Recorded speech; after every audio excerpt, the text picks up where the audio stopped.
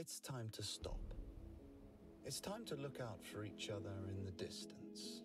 Time to stare humanity in the eyes. To take a break for the world. It's time to stop.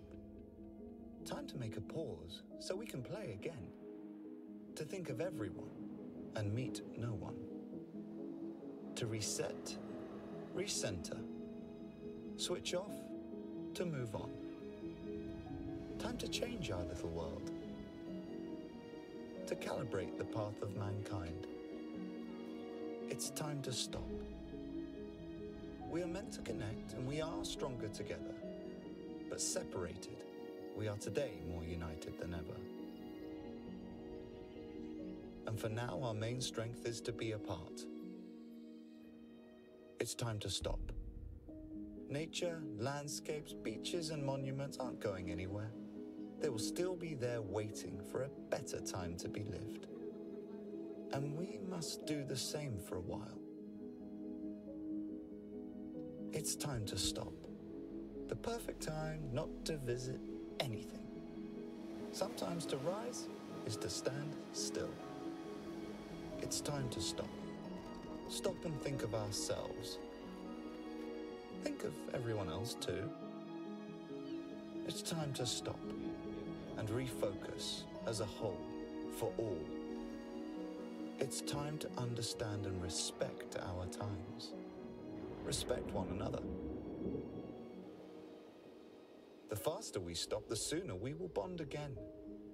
It's time to dream of those amazing days to come. For when those days arrive, we will say again.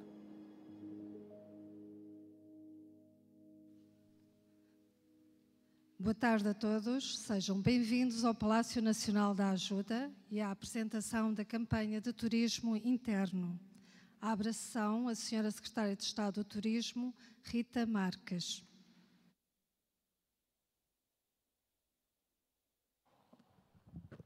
Muito boa tarde a todos. Sr. Primeiro-Ministro, Sr. Ministro de Estado da Economia e de Transição Digital, eh, Sr. Presidente da Confederação de Turismo de Portugal, Sr. Presidente de Turismo de Portugal, Senhores Presidentes das entidades regionais de turismo, demais excelentíssimos senhores e senhoras, em especial cumprimentar a equipa, a grande equipa de Turismo de Portugal, bem-vindos a esta breve, pequena sessão, mas para nós muito simbólica, muito sentida.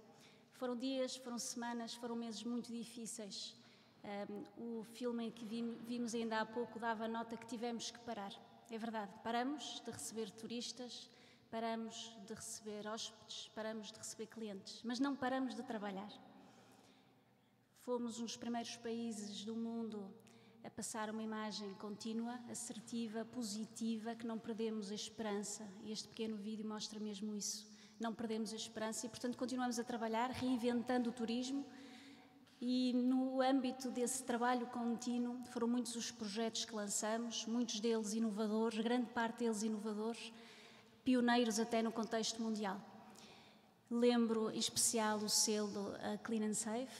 Até o momento foram já 14 mil as empresas que aderiram, 15 mil trabalhadores que tiveram a formação, que nos fez sentir especialmente orgulhosos e fez com que fôssemos reconhecidos no contexto internacional como o país mais seguro do mundo, a par de sermos o país, o destino turístico preferido durante três anos consecutivos.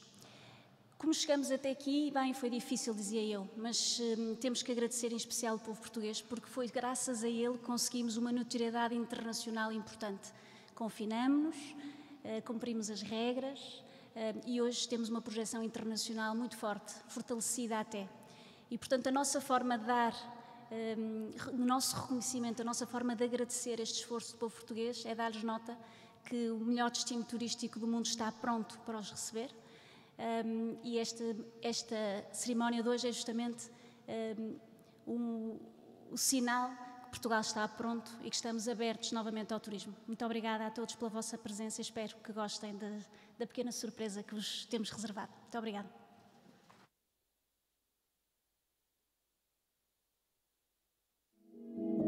From stop to start, from wonder to wonder, from think to thank, from apart to a part, from no to go from look to book, from hope to opening.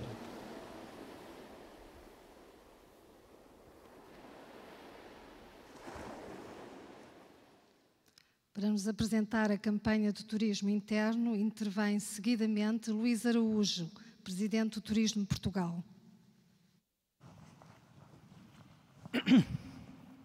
Bom, boa tarde, Sr. Primeiro-Ministro, Sr. Ministro de Estado da Economia e Transição Digital, Sr. Secretário de Estado Adjunto do Primeiro-Ministro, Sr. Secretário de Estado, Sr. Presidente da Confederação, amigos presidentes das entidades regionais, minhas senhoras e meus senhores, Aquilo que eu vos venho apresentar tem muito a ver com isto. Vivemos no melhor destino do mundo. Eu vou repetir: vivemos no melhor destino do mundo. Há três anos que somos considerados, por muitos estrangeiros e também por muitos nacionais, o melhor destino do mundo. E se há momento em que vale a pena repetir isto, é hoje e é aqui. Um, a pergunta que nós fazemos é só esta: quantos portugueses conhecem o melhor destino do mundo? Quantos portugueses conhecem a nossa oferta? Já fizeram ou tiveram experiências turísticas no nosso território? Quantos portugueses aproveitam aquilo que é o melhor destino para muitos que nos visitam? Quantos conduziram pela Estrada Nacional 2? Enfim, eu sei que o Sr. Primeiro-Ministro, esta foi logo à partida, já pode fazer um check. Uh, visitaram as gravuras do, do Coa a pé ou de caiaque, fizeram uma aula de surf, subiram de barco Guadiana, enfim, Quantos e quantos respiraram o ar da floresta Laura e Silva, ou viram baleias nos Açores, ou subiram o arco da Rua Augusta ou a Torre dos Clérigos no Porto? Quantos? Quantos visitaram Portugal? E esta é a pergunta que nós temos que fazer. Visitar Portugal é o que se impõe agora. E foi por isso que nós mudamos a nossa comunicação, o eixo que trabalhamos e que continuamos a trabalhar a nível internacional muda neste momento nós, até ao final desta campanha, deixámos de ser Visit Portugal e passámos a ser Visita Portugal. Este é o eixo no território. É este território que nós queremos promover junto dos portugueses. É este território que nos uh, obriga ou que nos força a mudar uma marca que tanto prestígio tem reconhecido uh, e tem uh, alcançado lá fora. Mas isto não pode ser só com base no território, e foi por isso que colocámos as pessoas no centro desta campanha. E colocar as pessoas, colocar os portugueses no centro de uma campanha de turismo interno é dizer-lhes exatamente isto. Nós podemos utilizar, nós podemos conhecer o nosso país, nós podemos e devemos visitar o nosso país. E esta visita não é uma visita simples. Se nós podemos, cada um de nós pode individualmente, tu podes visitar, este é o foco da campanha. O tu podes visitar o teu país é a campanha do Turismo Portugal para os próximos meses, para estimular a visita ao nosso território. E é uma campanha muito focada em duas coisas. A primeira, num convite. Um convite a que os portugueses conheçam ou redescubram o melhor destino do mundo, mas é também uma oportunidade. E é uma oportunidade para dinamizar a economia, para nós próprios promovermos as regiões, apoiarmos as nossas empresas e os mais de 400 mil colaboradores que trabalham no setor do turismo em todo o país, de norte a sul, incluindo as ilhas. É esta oportunidade e este convite que fazem esta campanha. Uma campanha que é muito focada nos nossos ativos, o nosso mar, a nossa gastronomia, a nossa cultura, como podem ver, que vai ter uma componente de promoção baseada também nos colaboradores do setor, já vos vou mostrar como. São eles que vão convidar os portugueses também a conhecerem o seu país, neste caso, a visitarem o seu país através da gastronomia, da nossa cultura, das tuas, da tua cultura, das tuas vinhas, porque é preciso tratar por tu, claramente, aqueles, aqueles que nos são mais próximos. É uma campanha uh, que uh, acreditamos nós, baseada nos ativos, nas imagens que temos do nosso país uh, e principalmente nas pessoas, vai fazer com que os portugueses queiram redescobrir Portugal. Como é que a campanha se faz? obviamente em meios offline, mas muito em meios digitais e tem um foco muito grande nesta plataforma que estão aqui a ver e que vai ser lançada muito em breve. Uma plataforma que vai concentrar mais de 100 mil experiências a nível nacional. 100 mil experiências que os portugueses podem fazer em família, a dois, sozinhos, em grupos de amigos.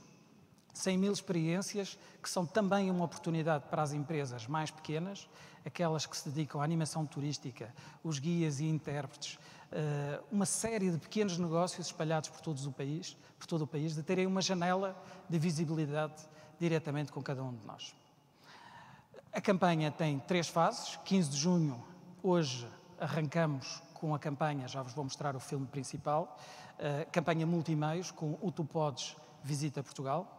No dia 24 de junho, lançamos uh, a comunicação daqueles que são os nossos colaboradores, os colaboradores do setor do turismo, aqueles que fazem o melhor destino do mundo para estimular os seus familiares e os seus concidadãos a que visitem o país e, finalmente, a plataforma de experiências que vai ser lançada no dia 10 de julho com as tais 100 mil experiências. Eu não queria deixar a oportunidade de agradecer quem fez esta campanha, eh, a partners, eh, quem vai divulgar e dinamizar toda eh, a promoção da campanha à OMG, todas as regiões que estiveram envolvidas, agradeço às cinco regiões de turismo e, aos, e às cinco secretarias regionais de turismo o terem contribuído e o, e o facto de irem contribuir para estas experiências, estas 100 mil experiências na plataforma. Isto é extremamente positivo. Uh, e, obviamente, à equipa do Turismo Portugal, sem a qual nada disto e muito do que aconteceu nestes últimos meses seria, seria possível. Uma campanha que tem um propósito maior que uma viagem. Eh, uma campanha que é para um destino, é para Portugal, mas com uma proposta de experiências. São estas experiências que vão enriquecer eh, a viagem e a visita de cada um. E uma campanha nacional com alcance global. Porquê? Porque a nossa comunicação já não é só para o nosso país. Portugal é hoje o 12 país mais competitivo do mundo a nível turístico. Isto é algo prioritário e que nós temos que saber. Qualquer mensagem que lancemos cá dentro tem efeitos internacionais principalmente quando o nosso propósito do Turismo Portugal e do turismo em Portugal é receber bem e respeitar as diferenças. Se a este propósito juntarmos uh, aquilo que dizem de nós, que recomendam os 16,3 milhões de turistas estrangeiros que nós recebemos, que não nos esquecem, que nos recomendam e que querem voltar, logicamente uh, achamos nós e acreditamos todos, era importante também dar-lhes voz. E neste momento em que nós podemos visitar Portugal, pedimos uh, ou uh, apostamos numa mensagem de fora para dentro, deixada por todos aqueles que nos visitam ou que já nos visitaram. Uma mensagem que, mais do que uma, uma campanha, e este Tu Podes Visita Portugal, mais do que uma campanha, é uma mensagem de amor. Uma mensagem de amor que é dedicada, nesta primeira fase, pelos estrangeiros, a Portugal e aos portugueses porque são os portugueses que fazem o melhor destino do mundo e nós acreditamos que vamos retomar rapidamente aquele que tem sido o nosso propósito, aquele que tem sido o motor da economia. Portanto, esta é a campanha que nós uh, lançamos hoje e que acreditamos vai ser abraçada por todos os portugueses, porque este sim é uh, o estímulo que queremos que todos tenham. Deixo-vos com o filme e, e com o desejo de que todos possam visitar Portugal.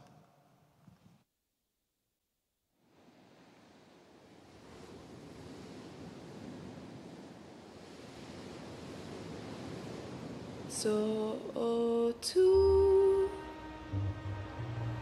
podes fazer este mundo rodar. Só tu podes fazer a escuridão brilhar. Só tu podes emocionar-me. Trazer-me essa cor. Encher o meu coração de amor.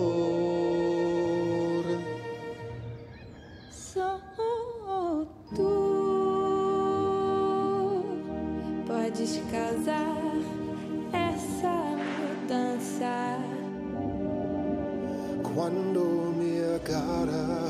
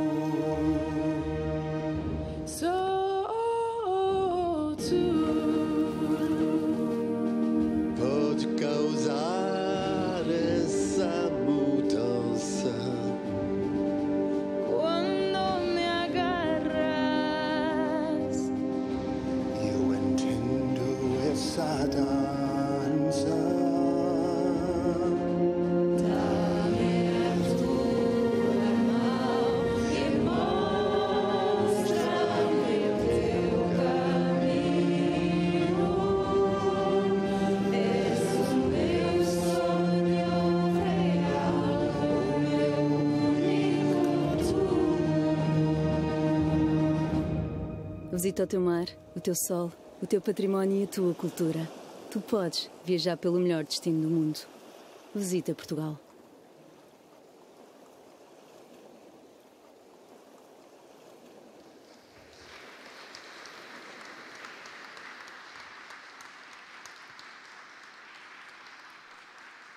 Tem agora a palavra Pedro Cisa Vieira, Ministro de Estado da Economia e da Transição Digital.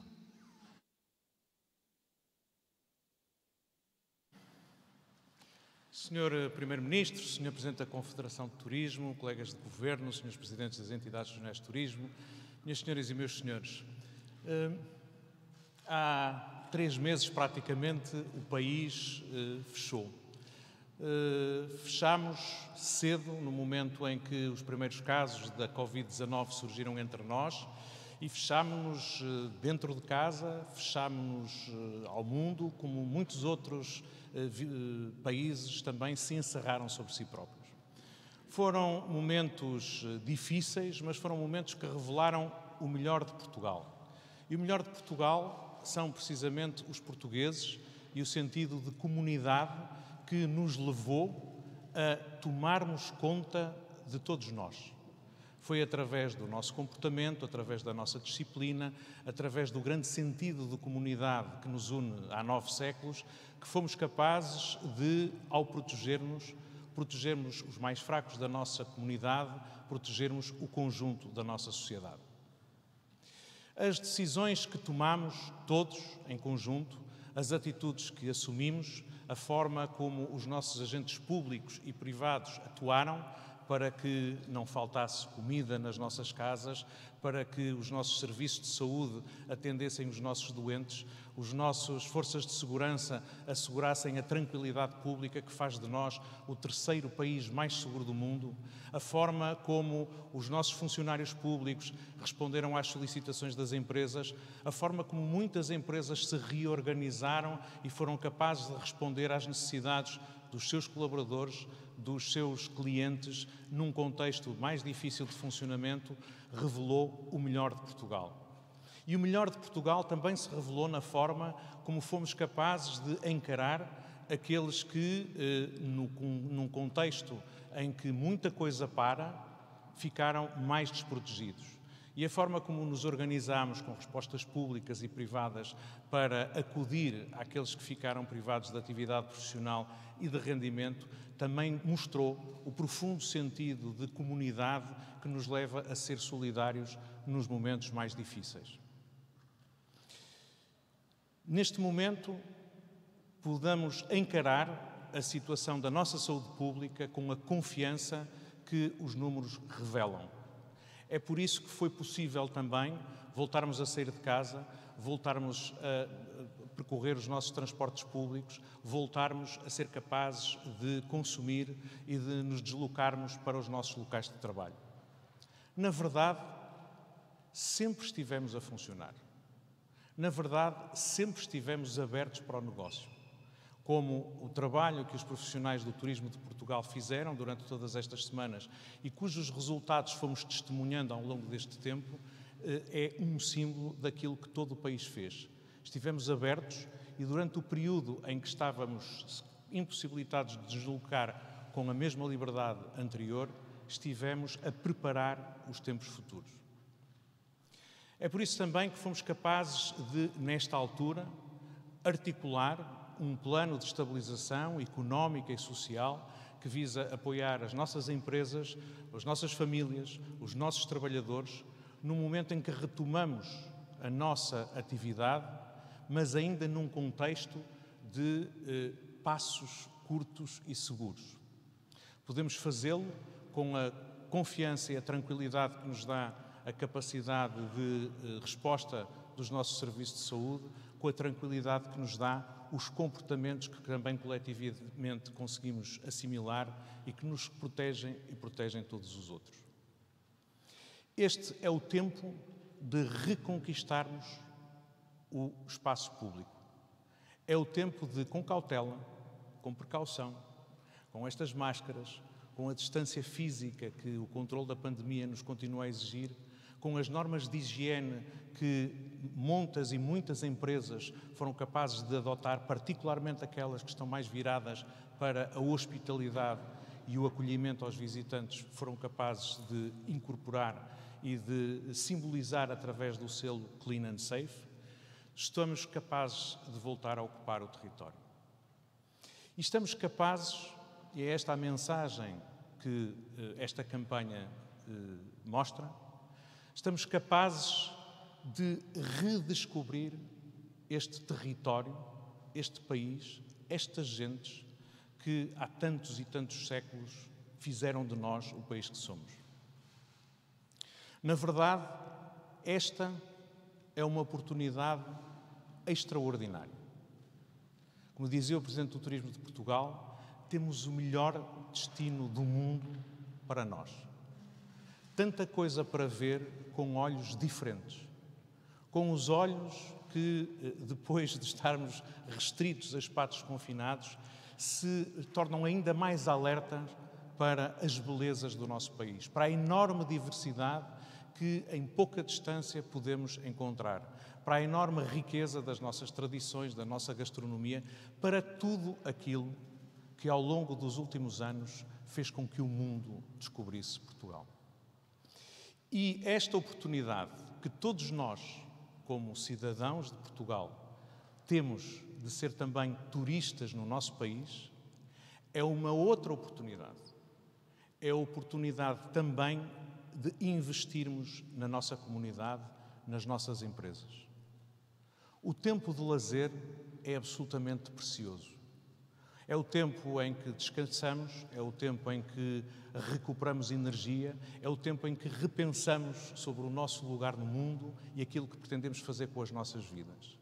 É um privilégio poder fazê-lo em Portugal, mas é, sobretudo, um privilégio poder fazê-lo investindo, apoiando as nossas empresas no setor do turismo, os nossos trabalhadores neste setor, tão qualificados, tão importantes para o sucesso do processo económico do nosso país nos últimos anos.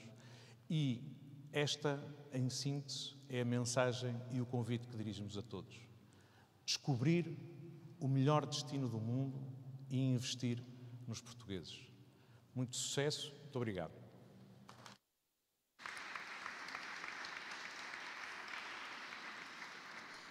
Encerra a sessão o Sr. Primeiro-Ministro António Costa.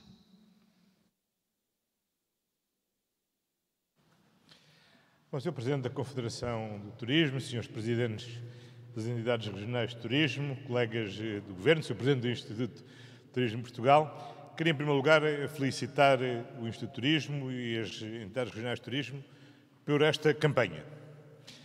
Porque o Covid não atingiu só a nossa saúde, atingiu também a nossa economia, os empregos, os rendimentos das famílias. E há duas formas de olharmos para esta situação da pandemia: ou ficar parados à espera que passe, ou então fazermos acontecer. E nós temos de fazer acontecer, porque não somos de ficar parados.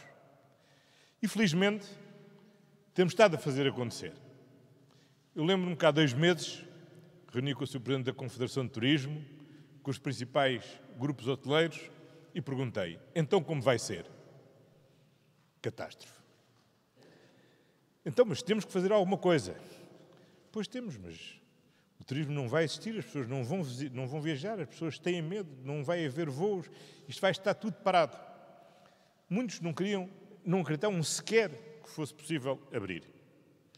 Hoje, felizmente, poucos são os que ainda não abriram e, sobretudo, são raríssimos os que não pretendem abrir nos próximos tempos. E nós temos de abrir, porque não podemos ficar à espera que passe. Nós temos de fazer mesmo acontecer. Porque nós temos de proteger a nossa saúde, mas temos de proteger também o rendimento das famílias portuguesas, temos que proteger o emprego dos portugueses e temos que proteger as empresas portuguesas.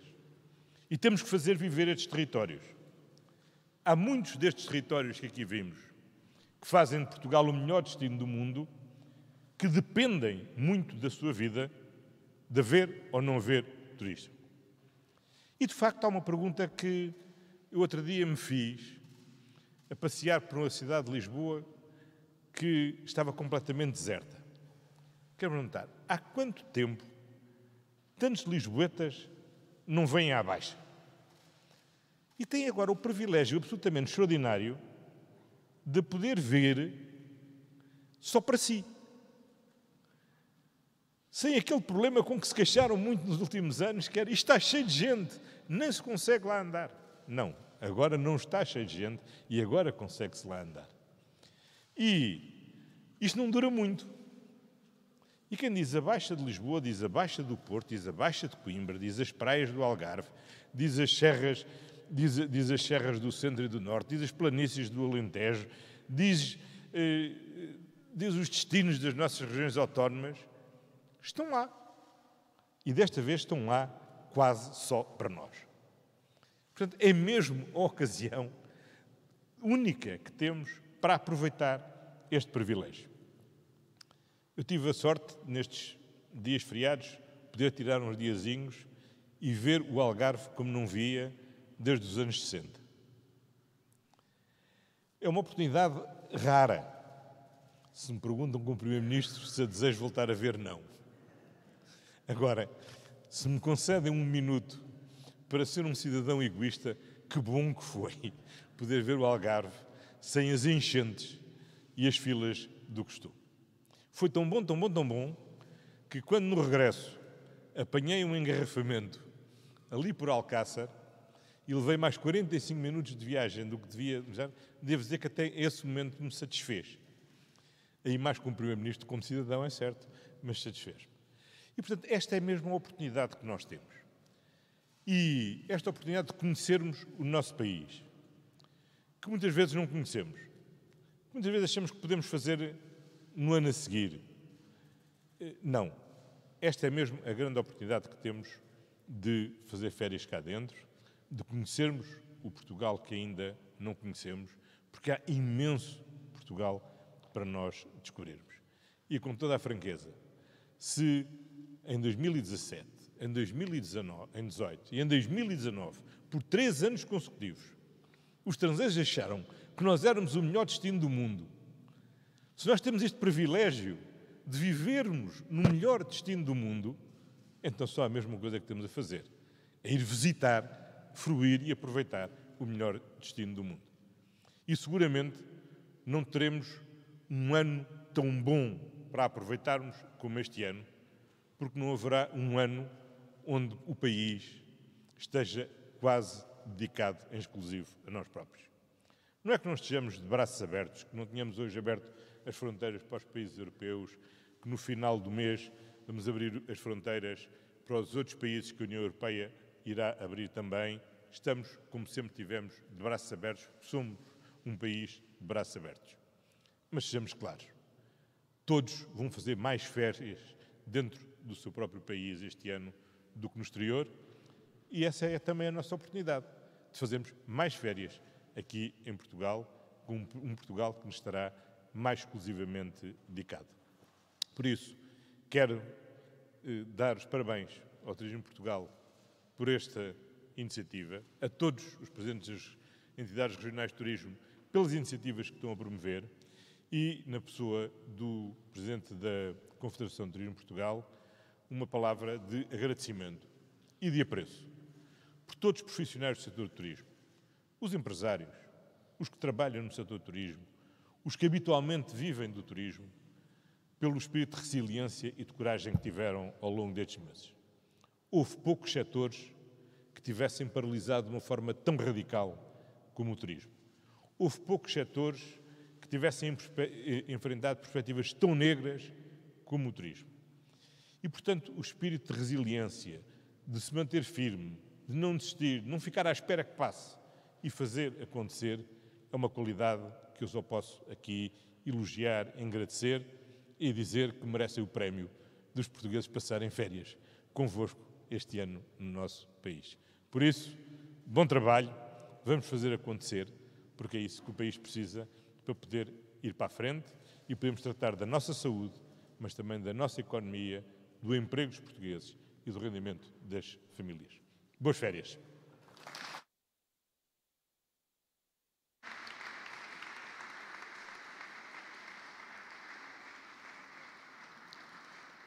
Agradecemos a presença de todos. Muito boa tarde.